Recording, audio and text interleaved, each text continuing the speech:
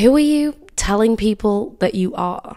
A woman in her feminine energy drip feeds stories about herself, about her life, about her world, about her family, about her friends, about her upbringing. These stories that she drip feeds subconsciously illustrate and pave the way for how she is treated. She makes even the darkest stories sound like she is the luckiest woman alive. Our standards are subconsciously enforced through the stories we choose to share about ourselves. It's not through a pre prepared list that you mechanically decide to recite to men and to others. A woman who embodies her feminine energy understands the power of storytelling, it shapes perceptions and influences how she is treated. It influences what type of opportunities are presented to her. So, if you are sick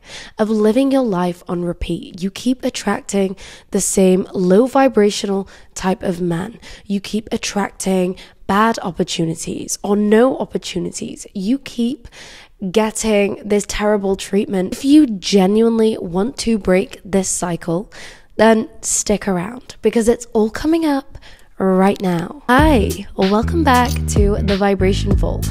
My name is Alia Zarei. I help women all over the world navigate their love life in a more feminine way. So if that sounds like something that you want to do, make sure to subscribe to stick around. Okay, let's begin. When you share stories with grace and intention, you paint this vivid picture that invites respect and admiration. And it's through these narratives that others subconsciously learn how to engage with you. Ultimately, that shapes your interactions. It shapes every single one of your relationships and the treatment you receive within that relationship. The stories that we tell about ourselves can completely elevate us to new heights unimaginable to us, or they can completely destroy you and diminish you in the eyes of others. Let me give you an example. Imagine a woman who, in her previous story, was constantly the victim of her circumstances. Well, she is always going to attract a relationship that echoes that same narrative because that is the story she has chosen to relate to. That is just the norm to her. And each time she retells that story, all she's doing is reinforcing that story. She's reinforcing that pattern. And what happens is it leads to similar outcomes over and over and over again. However, when she realizes that by altering her storytelling, she can change not only how other people perceive her, but also the quality of the opportunities that are presented to her. It alters the treatment that she is also now experiencing simply because she decided to change her story. Now, imagine that same woman. Imagine she started focusing on emphasizing parts of her life and her story that exhibit strength, luck, success, wealth. She starts to share stories about where she not just experienced hard times, but how she overcame those hard times, how she learned valuable lessons from very difficult situations, and how she grew stronger as a result of it, going even further to explain how grateful she is for any setback that she has ever experienced. Because that setback catapulted her to new heights that were completely unimaginable for her. By enhancing certain truths and focusing on empowering narratives, she reshapes the way that others see her. Instead of being seen as the victim of her circumstances, she becomes known for her resilience and her ability to thrive no matter what the circumstances are. Now, that woman is strong. That woman is powerful. That woman is a goddess. She won't stand for anything below the standard that she's already set for herself. So now men approach her with the utmost respect, with the intention to respect her, love her. They show up with gifts, they show up with love, they show up with loyalty. Always. Okay, so how do you do that?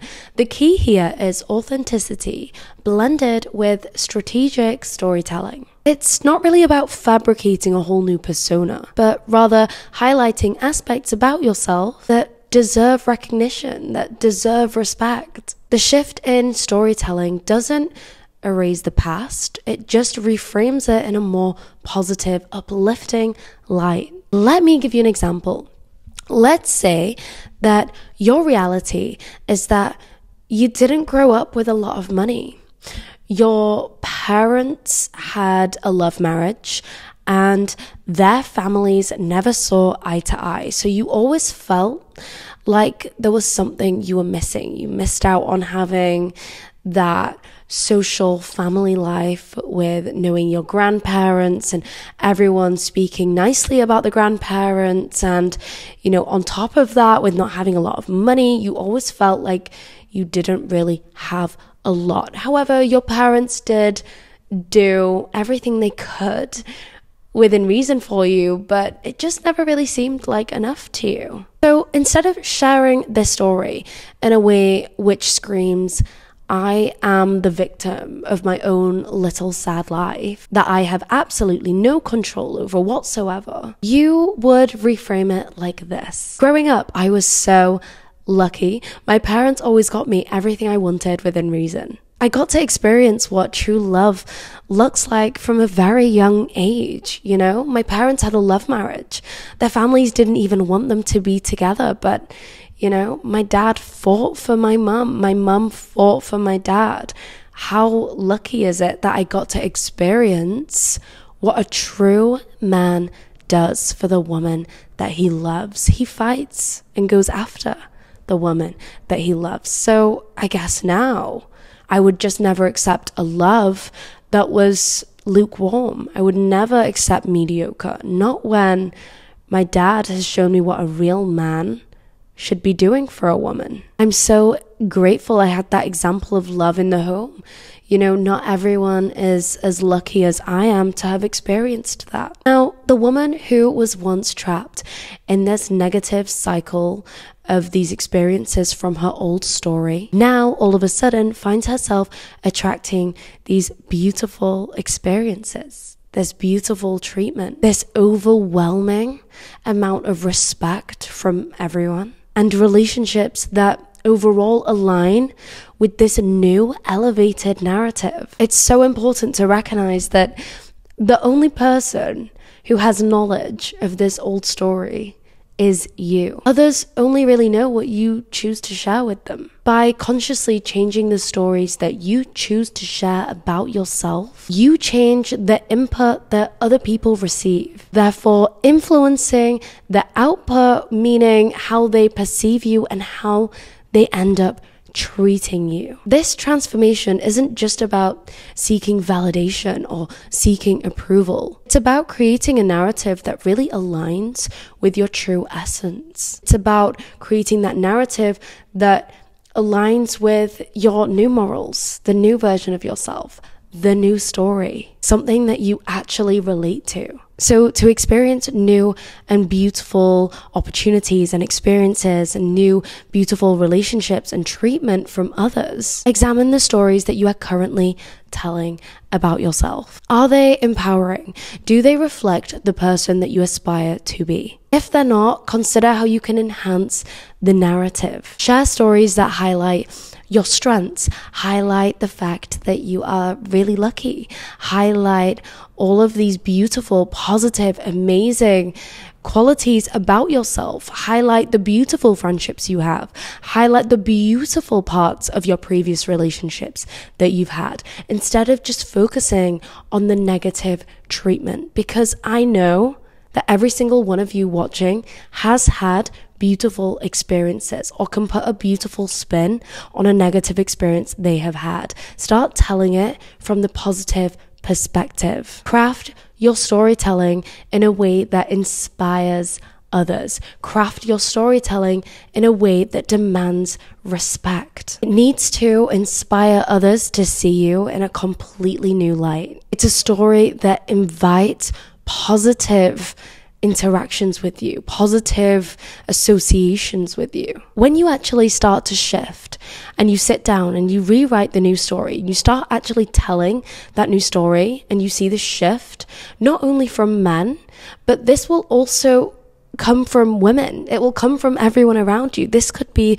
the woman on the shop floor who helps you find your correct size. This could be the woman at the makeup counter who slips in a few extra free samples for you. It's the coffee that you get randomly on the house for no reason at all. But really, there is a reason. It's because you're telling a new story. You're telling your new story, and it's told in a more positive and enhanced light. It's not only going to shift the treatment that you receive from the people you tell this story to, no.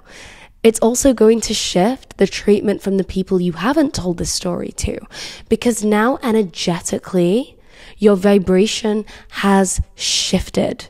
You are now radiating on a self secure frequency. People feel that energy from you. So the person down at the coffee shop doesn't need to know your new story. They can feel it from you energetically. They can feel that vibration from you. It's the self secure frequency that good things are always happening to me.